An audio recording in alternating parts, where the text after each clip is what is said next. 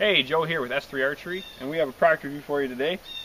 Today we are rocking the HideHandler.com medium hill style back quiver. Also comes with the optional three-piece harness. Um, it's a little loose right now, but we can change that later.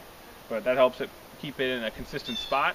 So just wanted to show you today the quality of it, the design of it, simplicity of it.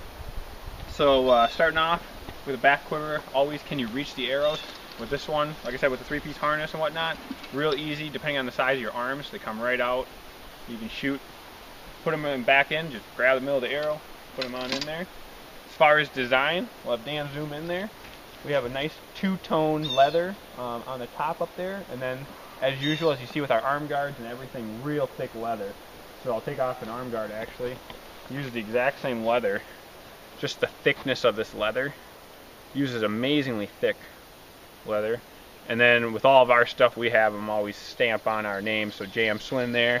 And then we got a cool JM Swin on the back. So obviously that's optional for yourself if you order this up. As far as adjustments, he actually puts this nice leather strapping on there. You just loosen this up. You can adjust tightness across the chest. And then on this side, um, I forget what he called them, but they're actually nice decorative button on one side. But when you flip them over, it's a screw. So you just stick your finger in there, unscrew it, and then you can adjust it as tight as you want. If you were really doing it, you probably have it tighter like that. So just wanted to throw that out there, let you guys see it. Feel free to post anything if you have any questions, and we'll be happy to uh, answer them. As far as arrow quantity, we have about um, we have about uh, what we got? Six arrows in there right now, and it probably could have another eight or so in there. So good to go.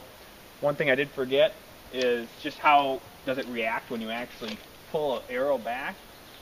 I can tell you we've been stumping with it for a little bit, and uh, it uh, actually is not disruptive at all. I was thinking it would be, but we can do it here on film and just watch the quiver, listen to it. It doesn't really react at all when you pull it back. So pretend that we're going to take a shot here. Do that again. quiver doesn't even move. It's just just not a concern at all. So if you're ever concerned about your back shoulder blade hitting the quiver or whatnot, you don't even know it's there.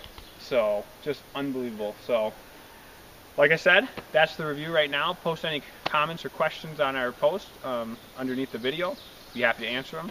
And uh, otherwise, like I said, Steve Catts, hidehandler.com. Great job.